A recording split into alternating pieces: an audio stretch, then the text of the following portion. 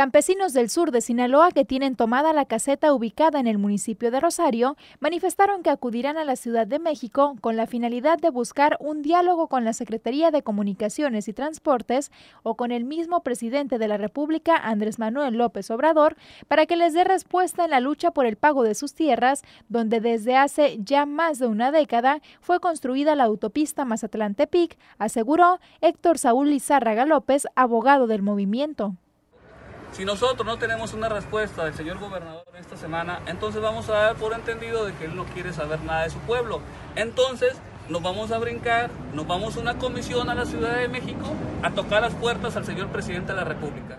Una comisión reducida por el problema de, la pandemia, pero ya no nos vamos a venir, señores, hasta que nos, hasta que alguien nos reciba. O sea, ya, ya, ya, no es posible que siete meses y, y no tengamos nosotros noticia de nadie. Lizárraga López dijo que desde que inició la construcción de esta carretera hubo irregularidades, pues los campesinos firmaron una carta de ocupación previa a la espera del pago de sus tierras una vez que fueran expropiadas, pero este proceso nunca se cumplió, por ello es que se inició este movimiento.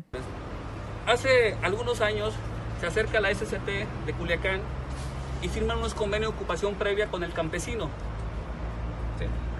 Pero en el, contrato, en el convenio de ocupación previa Solo dice, tú campesino y yo SCT vamos a formalizar un convenio en el cual tú me das permiso para la construcción de una carretera, nada más.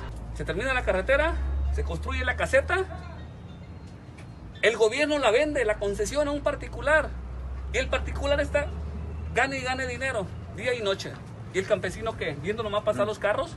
Aseguró que los manifestantes no retirarán el plantón hasta tener una respuesta favorable. Asimismo, externó el temor que existe ante la amenaza de la intervención de la Guardia Nacional, pues afirma existe un rumor de que podrían ser retirados por la fuerza.